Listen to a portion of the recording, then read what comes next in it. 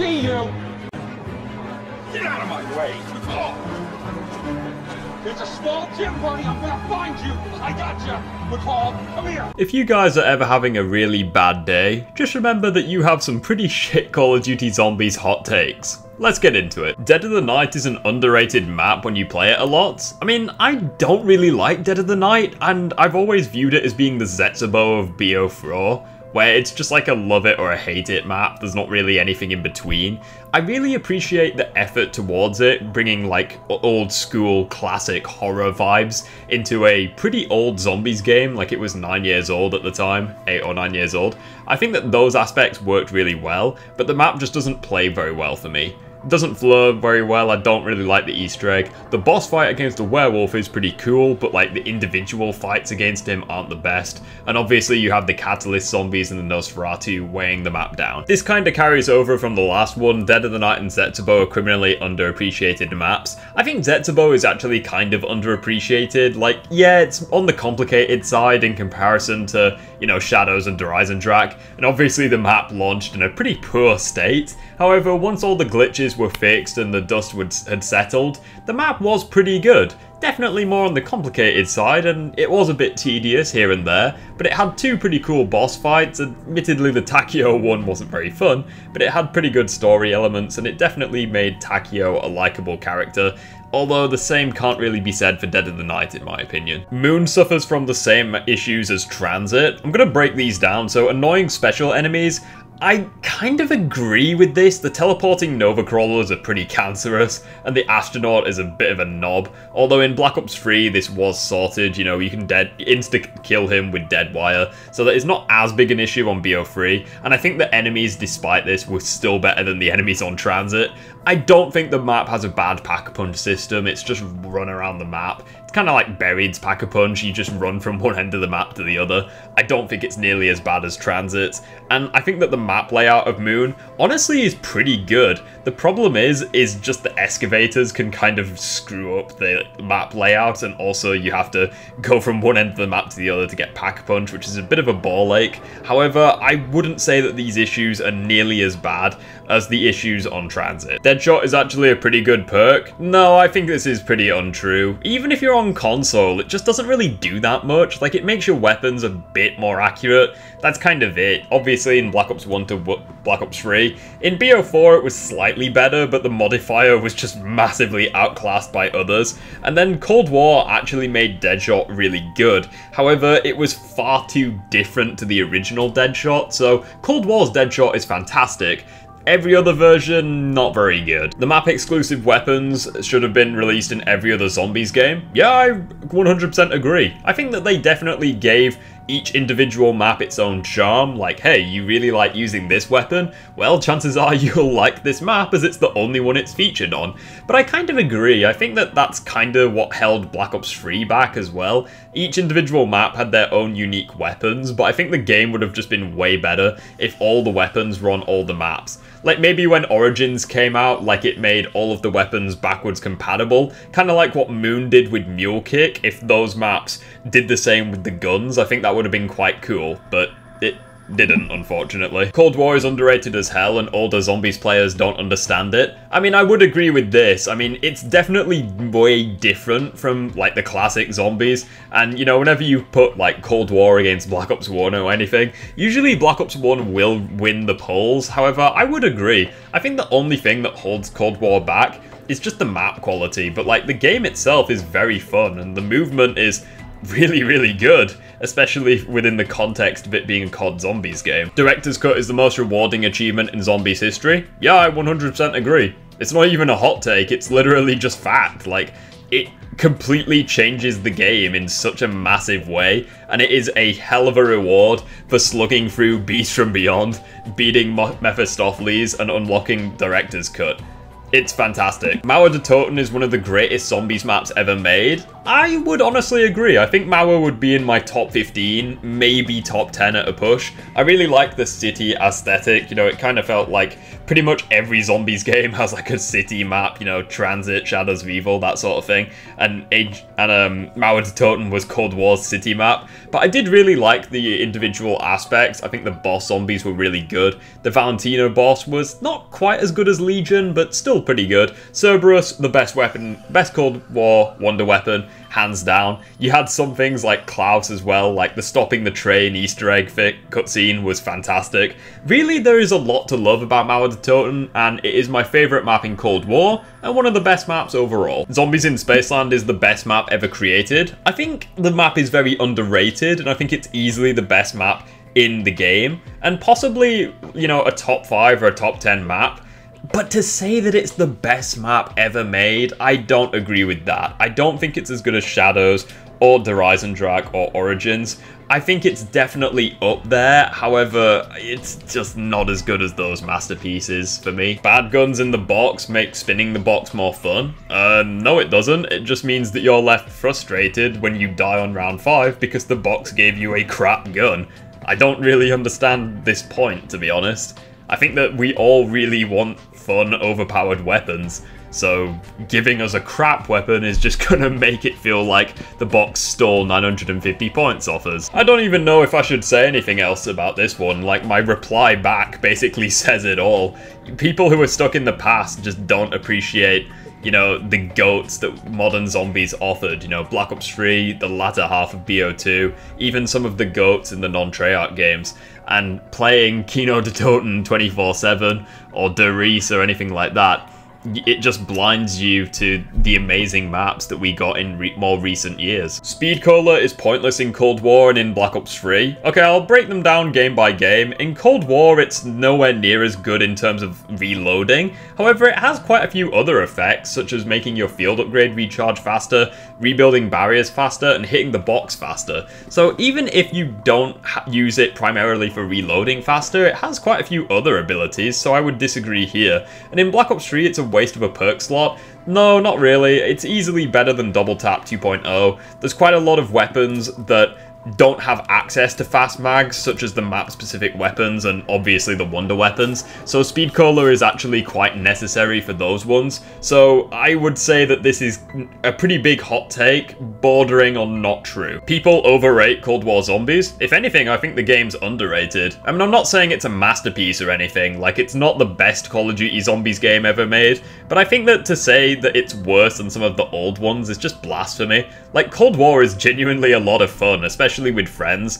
It's definitely very different, so I understand if you don't like it for, you know, the individual mechanics. I can understand that. But if you take the game for what it is, it's genuinely a lot of fun, and way more fun than some of the older games. I don't really know what to make of this one, it just sounds like you're a Black Ops 3 hater. If you don't like the base weapons, I could 100% understand. They do lack identity, especially when you add attachments, but to say that you refuse to play any map on that game without a weapon mod yeah, you're a BO3 hater, sorry. Cold War and Black Ops 4 are polar opposites, and a hybrid game of the two would be the best zombies ever.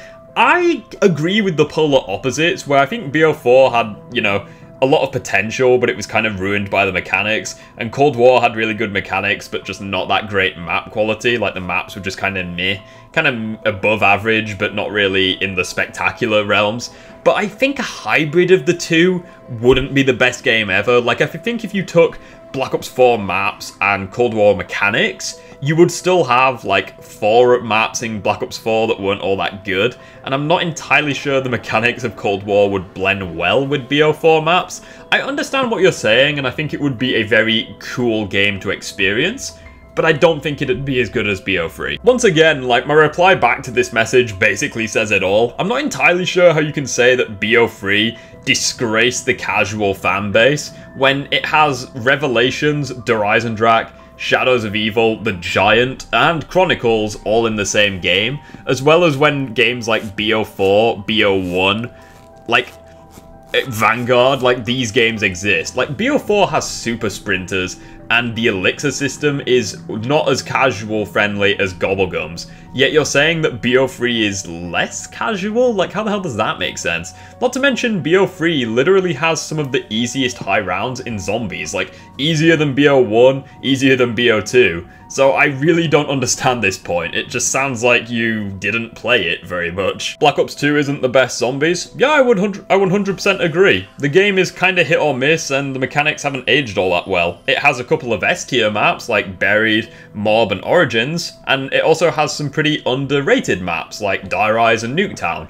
But then you have some pretty crap maps like Farm, Bus Depot, and the infamous Transit, and yeah, I would agree it's not quite the best zombies. It has amazing maps and it has amazing content, but it also has its fair share of shit content. Outbreak is the worst zombies game mode ever. Okay, say that you haven't played Grief or Turned without saying you haven't played Grief or Turned. Not to mention Cold War, whilst I do love the game, it does have its fair share of crap game modes such as Cranked, that crappy little snowball game mode.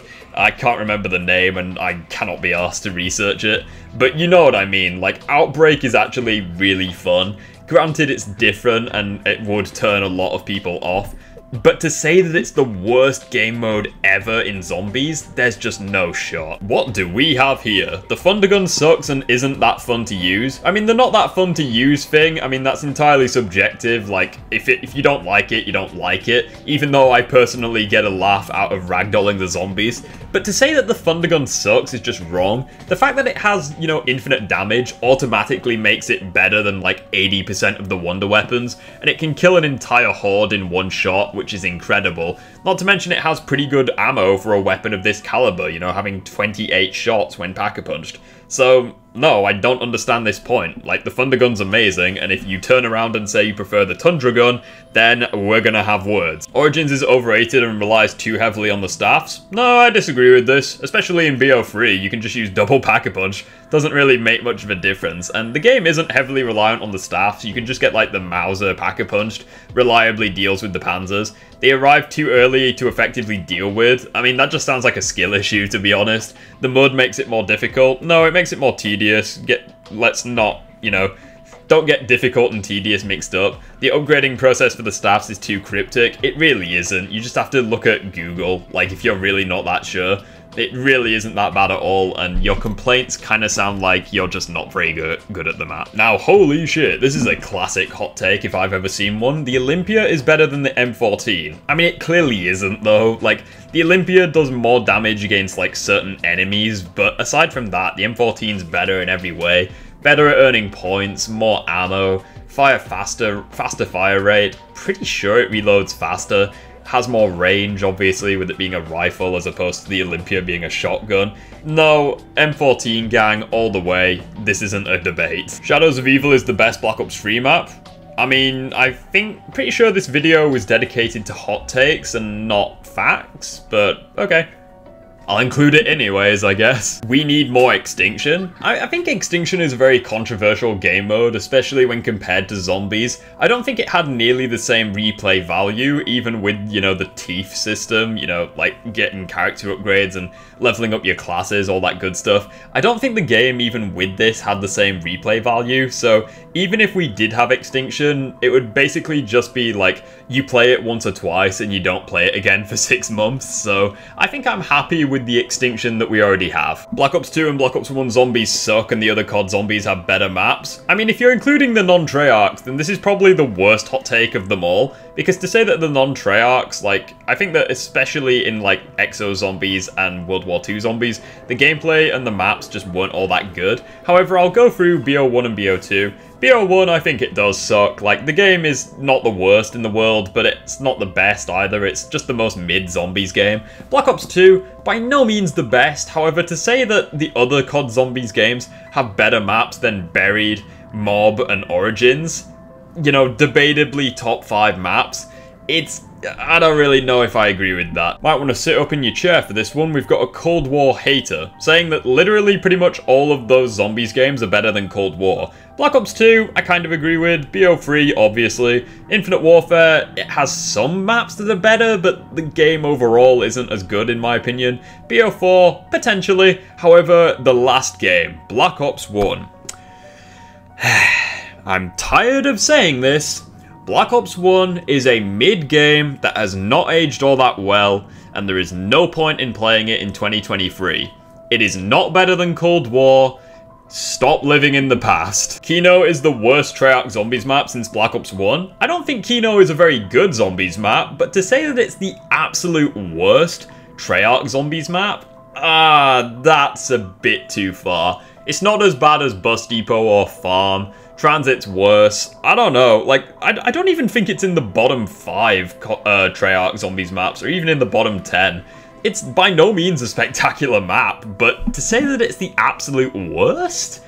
Fucking hell. Buried is garbage. I mean, if you don't like Buried, that's fine, but to say that the map design is practically a straight line, I mean, I think your learning curve is a flat line, good sir, because if you look at the actual map layout, it's anything but a straight line. You know, you have the different tunnels, you have twists and turns and all the rest of it. It's not a straight line at all. Like, I don't agree with this at all.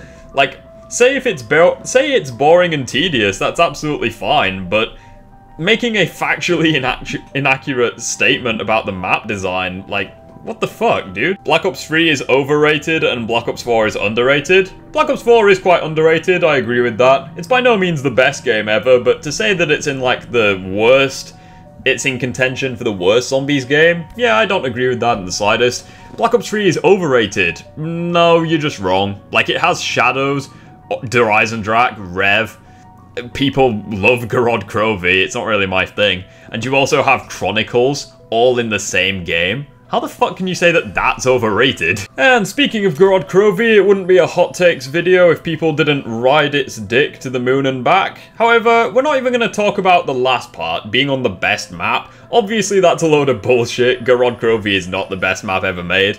The Wonder Weapon Mark III comment is what I want to focus on. The best Wonder Weapon ever made.